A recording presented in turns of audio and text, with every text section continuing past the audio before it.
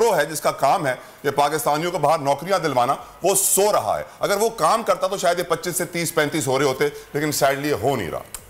अफसोस की बात यही है। खैर, आगे बढ़ेंगे और बात करते हैं तुर्की और शाम में जो जल्जला आया है, उससे हज़ारों अम्बात हुई हैं, लेकिन सानिया के बाद दूसरा सानिया ये है कि मकामी हुकूमतें बेबस हैं। आम लोगों को समझ नहीं आ रहा है कि घर, कैसे लोगों की मदद की जाए? घर रह जाने के बाद अपने ज़ख्मों को रोएँ या बिछड़े हुए लोगों को रोएँ, अपने जो लवाकिन हैं, उनको रोएँ। बहुत ही एक अफसोस का मौका में दिल दहला देने वाले मनाजिर हैं। वैसे पाकिस्तान का जीडीपी भी 400 बिलियन डॉलर के करीब है आ, लेकिन हमारा टैक्स टू जीडीपी रेशो बहुत ज़्यादा है आ, और उसके अलावा हमारा डेट टू जीडीपी रेशो बहुत ज़्यादा है। तकरीबन इस जीडीपी का जो है 50 फ़ीसद डोमेस्टिक डेट है और 28 फ़ीसद आपका एक्सटर्नल डेट है। अल्लाह हम पे रहम फरमाए। सग़ीर राम में हमारे नुमाइंदे मौजूद हैं टर्की से हमारे साथ तुर्किया से।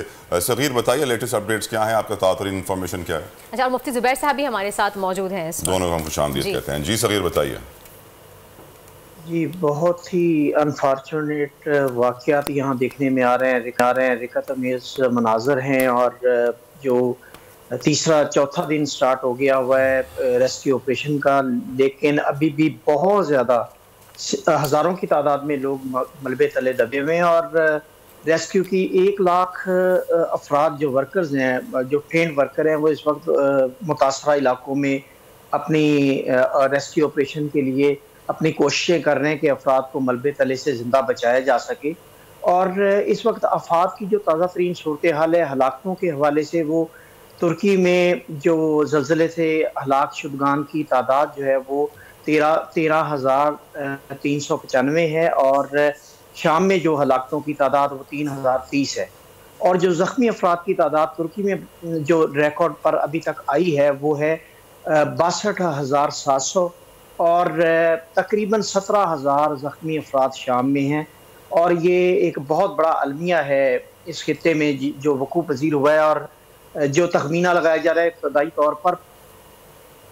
पाँच बिलियन डॉलर का ये जो मटेरियल का लॉस है, यानी जो इमारतें गिरी हैं या जो वहाँ नुकसान हुआ है, ये इब्तदाई तखमीना है। और रेस्क्यू ऑपरेशन मुकम्मल होने के बाद मुकम्मल रिहेबिलिटेशन और बहुत बड़ा नुकसान हुआ है बहुत बहुत शुक्रिया सही रामे हमारे साथ मौजूद थे। मुफ्ती साहब आपकी जाने बढ़ूँगी अभी बताइएगा कि इतना ज़्यादा नुकसान हुआ है जानी नुकसान हुआ है माली नुकसान हुआ है ऐसे में उम्मत मुस्लिमा की क्या ज़िम्मेदारी बनता है? से आगे बढ़ के हमें मदद करनी चाहिए।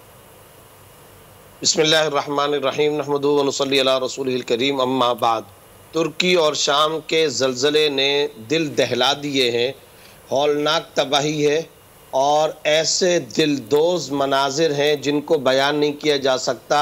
वो मनाजिर मीडिया के ज़रिए भी काबिल दीद नहीं है।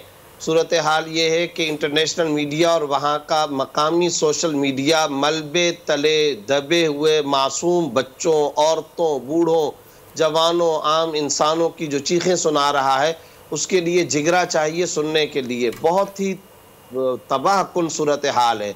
ऐसी तबाह कन सूरत हाल में हाल में अरब व अजम के तमाम मुस्लिम ममालिक की कलीदी और बुनियादी ज़िम्मेदारी बनती है कि तुर्की की मदद करें। वहाँ के तमाम मुतासर इलाकों के अंदर अपने फौरी तौर पर डेलीगेशन भेजें, जो वहाँ के लोगों के लिए बोझ ना बने, बल्कि वहाँ के लोगों की ज़बरदस्त मदद करें। शाम का हल्ब मेरा खुद देखा हुआ शहर है, इस वक्त मलिया मेट हो चुका है।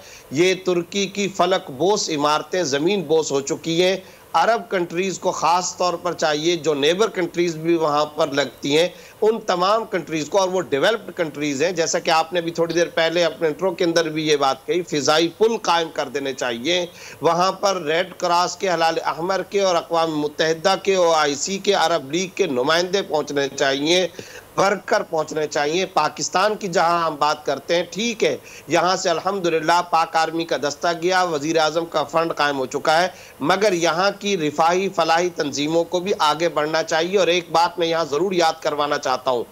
जब भी तुर्की पर मसला आया तो मुसलमान हिंद की ये तारीख रही है। शेख रहमत वगैरह के ज़माने से लेकर के कि मुसलमान ने हिंद ने तुर्किया की भरपूर आगे बढ़ कर के मदद की है। विफाकुल मदारस को पाकिस्तान की तमाम मसाजिद और मदारस में दुआओं की इज्तमाही अपील करनी चाहिए। मैं और आप हम तमाम मस्जिदों में दुआएँ भी कर सकते हैं। अगर वहाँ पर अवामी सतह पर इमदाद की ज़रूरत है और यकीन है वो इमदाद भी हमें लाजमी करनी चाहिए और अरब कंट्रीज़ को करनी चाहिए। मलेशिया, इंडोनेशिया, अफ्रीकी मुस्लिम ममालिक को आगे बढ़ना चाहिए। ये वक्त है ढारस बंधाने का।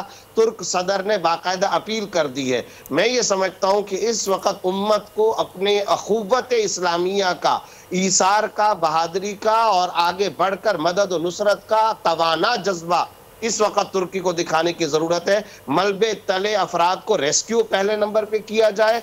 जो वहाँ पर खेमों के अंदर आए या जो जिस तरह से आकर के यहाँ पर लोगों के महल्लों और इलाकों मुफ्ती साहब मुफ्ती साहब हकीकत मुफ्ती साहब माजरत। सो सॉरी आपको इंटरप्ट कर रहा हूँ लेकिन उम्मत मुस्लिमा तो पहले ही तितर बितर है। उम्मत मुस्लिमा तो पहले ही मुश्किल में घिरी हुई है। उम्मत मुस्लिमा कैसे आएगी आगे? यूनिटी कहाँ है हमारे अंदर? हमारा एका कहाँ है हमारे अंदर? हम तो बहुत सारे हिस्सों में बढ़ चुके हैं मुफ्ती साहब।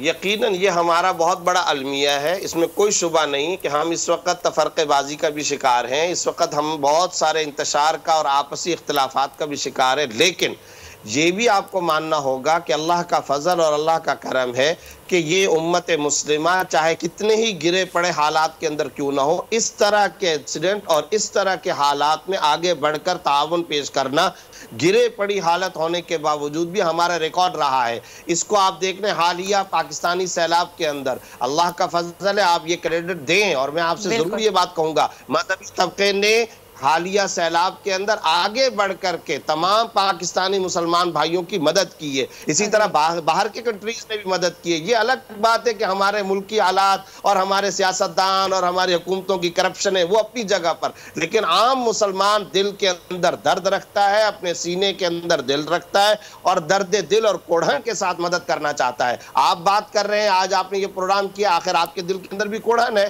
गम है फ़िक्र है मेरे दिल के अंदर भी कोढ़न है चुभन है। इसी तरह पूरी उम्मत मुस्लिमा के दिल दहले हुए हैं। वो इंतहाई परेशानी के आलम में और इस उम्मत मुस्लिमा में असहाब खैर मुखैर हजरात करोड़ों की तादाद के अंदर मौजूद हैं। वो मुखैर हजरात भी सामने आए और अरब कंट्रीज़ को मैं इस वक्त कोई और इख्तलाफी बात नहीं मैं ये कहना चाहता हूँ, आपका माजी सखावत का रहा है। अरब ममालिक की सखावतें मशहूर होती हैं। लिहाजा अरब मुसलमान प्यारे बरदरान इस्लाम को आगे आना चाहिए। इंडोनेशिया, अफ्रीकी ममालिक, मुस्लिम ममालिक, मलेशिया, इन तमाम कंट्रीज़ को सामने आना चाहिए और इन तुर्क और शामी भाइयों की भरपूर मदद करनी चाहिए। ये खुदा की कसम उम्मत मुस्लिमा की इस वक़्त की सबसे बड़ी कलीदी, बुनियादी ज़िम्मेदारी और फरीज़ा शर्य है। सही, बिल्कुल दुरुस्त फरमाया आपने। बहुत बहुत शुक्रिया आपका। मुफ्ती ज़ुबैर साहब हमारे साथ मौजूद थे, उन्होंने वाजे कर दिया कि इस वक्त किस तरह से हमें अपने तुर्की की मदद करनी चाहिए और हमेशा हम बढ़ चढ़ कर मुसलम उम्मा का ये हिस्ट्री रही है कि हमेशा हम बढ़ चढ़ के आगे लोगों की मदद करते हैं।